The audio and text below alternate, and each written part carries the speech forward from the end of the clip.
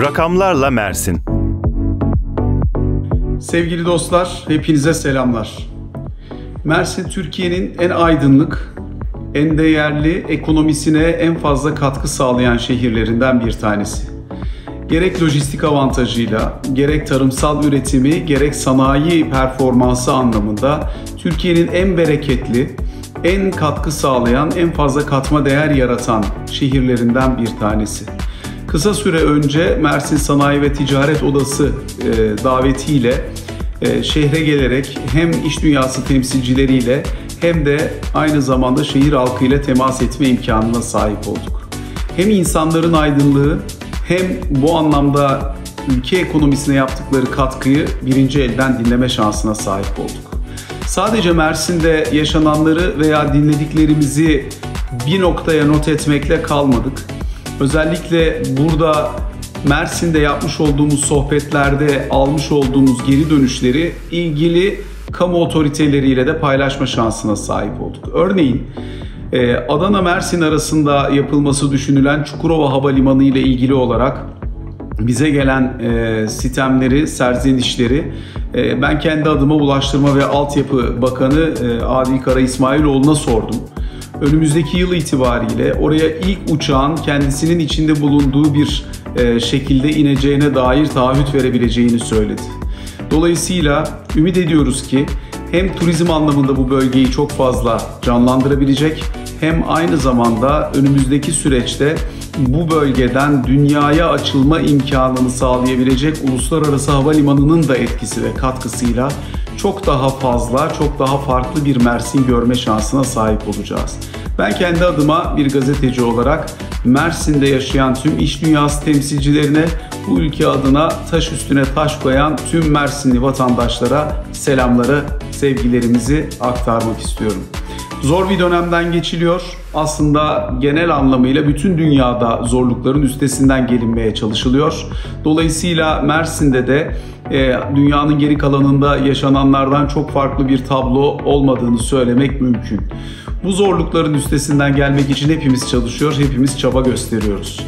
Önümüzdeki dönemde ümit ediyorum ki Covid-19 salgınının ortadan kalkışı, etkilerin biraz daha bertaraf edilişi, hayatın normalleşmesiyle birlikte çok daha kuvvetli performanslara, çok daha parlak geleceğe hep birlikte yol alma şansına sahip olacağız. Şimdi sizlere bu dönemde yılbaşından bugüne kadar Mersin ekonomisinin performansını ve bu dönemde yapılanları görme şansı tanıyan videomuzu aktarıyoruz.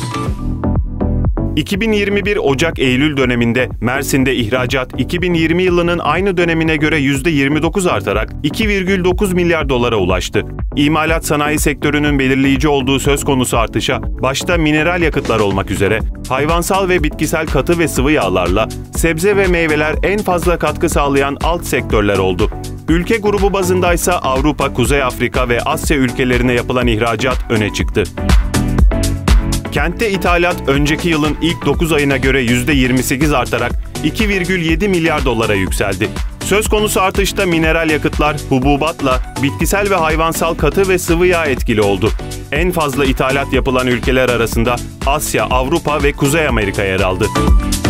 Kentte liman başkanlıkları bazında elleçlenen yük trafiği, ihraç yüklerinin etkisiyle geçen yılın ilk 3 çeyreğine göre %6 artarak 33 milyon ton seviyesine yükseldi.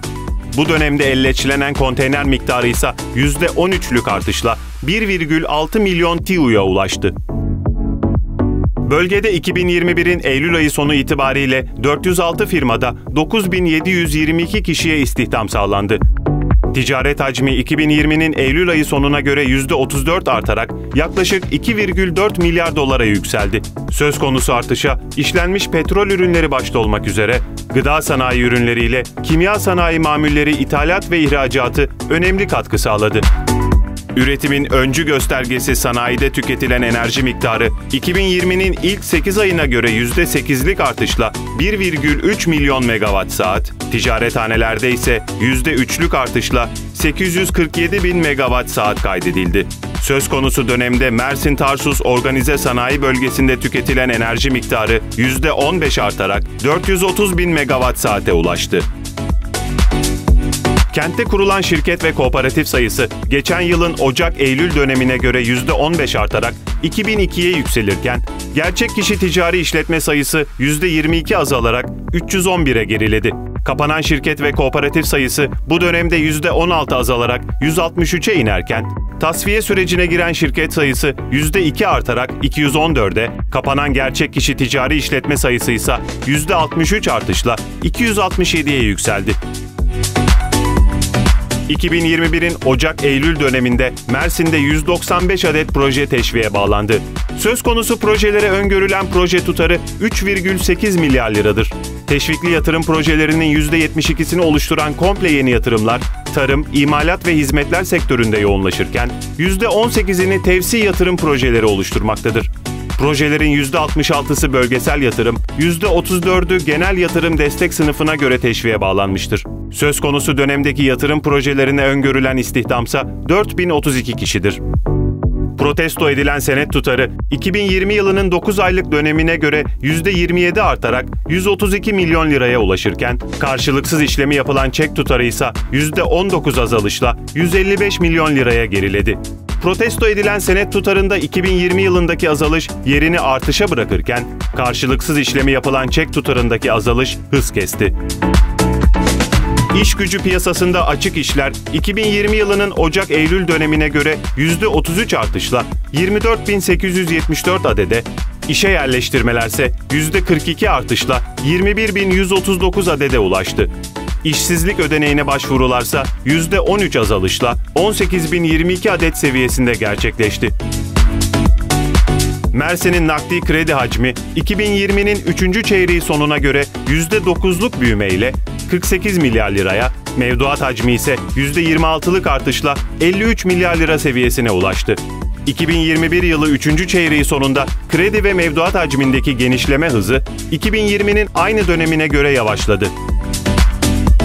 Konut satışları 2020'nin 9 aylık dönemine göre %23 azalarak 27.659'a geriledi. Bu azalışta ipotekli satışlar etkili oldu. İlk satışlar %23, ikinci el satışlar %18 daraldı. Aynı dönemde yabancılara yapılan konut satışları ise %103 artarak 1663'e yükseldi. Türkiye geneli yabancılara yapılan konut satışlarının %4,4'ünü karşılayan Mersin, İstanbul, Antalya ve Ankara'dan sonra 4. sırada yer almaktadır. İç talepteki hareketliliğin önemli göstergelerinden biri de otomobil satışları. Mersin'de 2021 yılında trafiğe kaydı yapılan araç sayısı geçen yılın ilk 9 aylık dönemine göre %19 artarak 17.843'e ulaştı. Söz konusu artış bir önceki döneme göre yavaşlamıştır. Otomobil, motosiklet ve kamyonet taşıtları satışların hız kestiği gruplardır. Mersin Ticaret ve Sanayi Odası